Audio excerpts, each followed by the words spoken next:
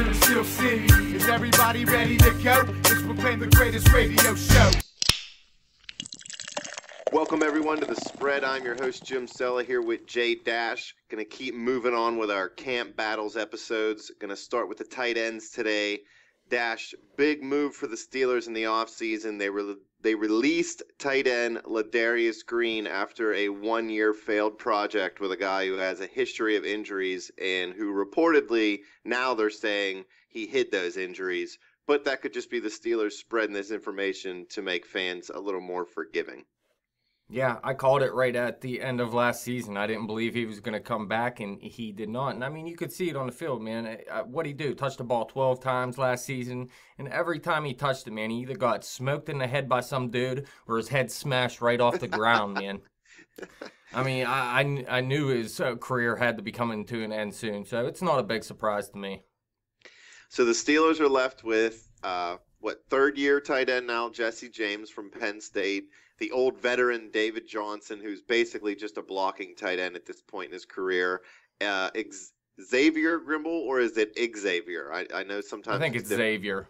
Xavier Grimble, okay. And Scott Orndoff, he was a free, a, unrestricted free agent signing, I believe, right after the draft. I think he might have played at Pitt. Honestly, I can't remember. But he, he honestly, he might make the team, but he, he's not really going to push for playing time. So then there's another guy on the practice squad, or could be on the practice squad, but we don't really care about him. I mean, so this is why I said I wanted them to go after OJ Howard in the draft. Like I said, I knew Ladarius Green, it just wasn't going to cut it. That's why I wanted them to go after Howard. They ended up not going after a tight end at all, and now it's Jesse James really in the passing game, and that's a, that's about it. And he's well, still working on his blocking at this point let me ask you this: Would you rather have them taken maybe not if they OJ Howard because I, I I kind of figured they were going to go linebacker or DB in the first round, but would you rather have them taken a good tight end in the second round or Juju Schuster Smith or Juju Smith Schuster, who offers more to the passing game? You know, another quality wide receiver. Well, he does if if he gets enough playing time. I mean, it depends on where he ends up uh, in this wide receiver set. You know what I mean? they definitely need a tight end out there. You know, so uh, I don't know. It depends on how good Juju ends up being. If he ends up being a mediocre third receiver, then I, I say you should have went after the tight end. But if he turns into a number two that you could uh, replace Martavis with, if something happens to him, then I would say Juju would be the better pick. So I think we both agree that Jesse James, as of right now, is kind of penciled in as the starter. Uh, he's a third year guy, like we said. He's a decent pass. Ca- you know what? He's a good pass catcher, but he's not the most athletic guy when he has the ball in his hand or out on the field. And I'm not saying that he's a big stumbling moron out there, but he's not as athletic as some of these other guys that you see coming out of college and some of these other tight ends you see putting up big numbers. I think James is somebody who's sure-handed, who, like you said, has to work on his blocking. Hopefully he is because he's a little shaky in that area, and the Steelers like to run the ball. But I think he's a serviceable starting tight end. I think he'll put up decent numbers if he plays every game at the starting position. But when I say decent, I'm talking like 35 catches for maybe 400 yards or something like that. I'm not I'm not saying Heath Miller type numbers. Yeah, he's a good check down target, uh, and I get I guess he's a decent red zone target as well. You see him uh, come up with a couple touchdowns this season. I'd have to believe. Now, last year you liked Xavier Grimble a little bit, especially you know coming into the season. He he put up some decent numbers in preseason played well when he got some playing time. Do you think he's a legit second tight end, or you think it's going to just be David Johnson and kind of? I, don't want to say phase the tight end out of the offense a little bit this year, but maybe not feature it as much as they would have liked to. Well, I, I don't remember liking Xavier Grimble that much going into last season. I guess I didn't hate him. I didn't say cut him or anything, but I don't remember. Maybe I did. Who knows? But no, you you wanted to keep him on the team whenever we talked about who we were going to cut near the end of the preseason. Okay. Uh, I mean, I guess he's a decent number two, but given that Jesse James is our number one, I'd like to have a little bit better number two, I guess. I don't know, man. I think Jesse James is borderline number two, number one, you know? Yeah, I kind of see it as we have a number two, three as our one, two tight ends because I'm not totally sold on Jesse James as a number one. And I'm not hating. I'm not saying that he has no chance of coming out. Maybe he trimmed up in the offseason a little bit or, or worked on, you know, his pass catching or something. I haven't really seen him. I haven't heard too much about it.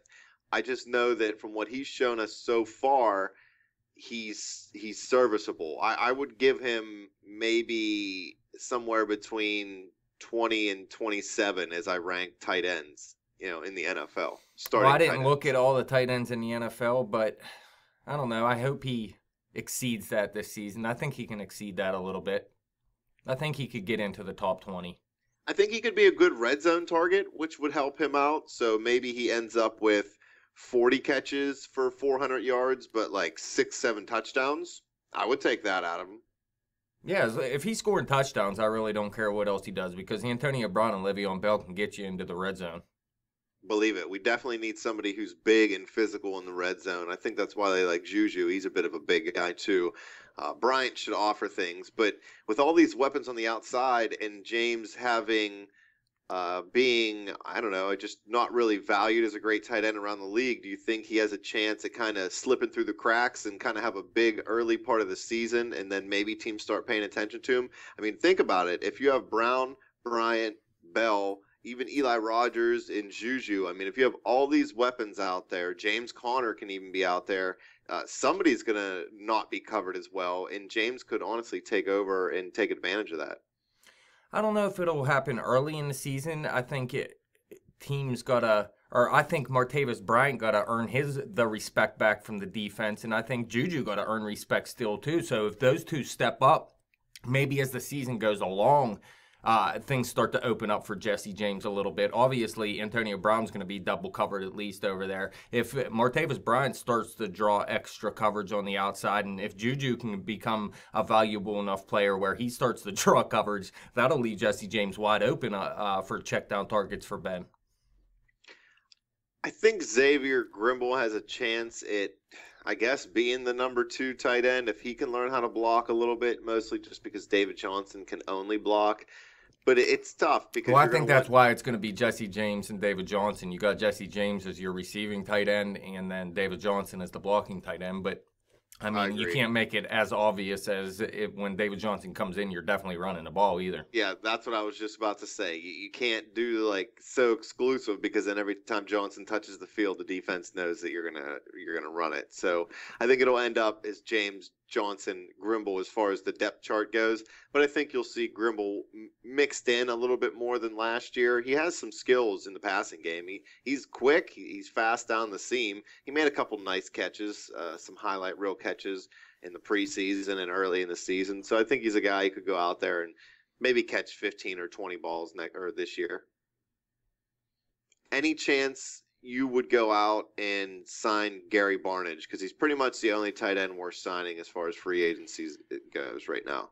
Uh, I don't know what he wants. I don't know what he's trying to get, but yeah, absolutely. Why not? At least go into camp with him and see what happens if you can get him cheap enough, and then cut him if it doesn't work. I mean, you got to believe he, he's not really commanding a whole lot right now, being that the Browns just cut him. He's like thirty something years old. He's really only had about two or three good years in his career as far as you know, any type of and he can't stay healthy. So, right. So it's not like he's going to command top dollar. If they could bring him in on a one year deal, like a one year prove it deal, I'd be happy with that. I think him and James combined could mix to be maybe 60 total catches between them, 70 total catches between them.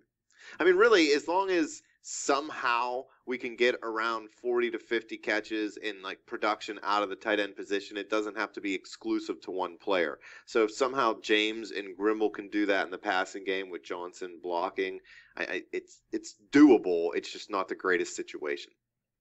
Yeah, well, Ladarius Green signing was a mistake. I loved it at the time. I was always a Ladarius Green fan, but after watching him play with the Steelers, last season. I mean, it, it, you could just tell something was wrong with him, man. He just didn't look like that explosive guy. Yeah, I wish him well. Hopefully, he gets better. Who, who knows if he ever plays football oh, again? Oh no, man, he's. I, I, I bet he's washed up. He's done. he's washed up. I don't think he's washed up. His brain's just beat up. Well, I mean that's part of it. You're washed up. washed up just means you don't have it anymore, dude. Well, he doesn't have he truly doesn't have it anymore, man. He's the definition of does not have it anymore. That's harsh, man.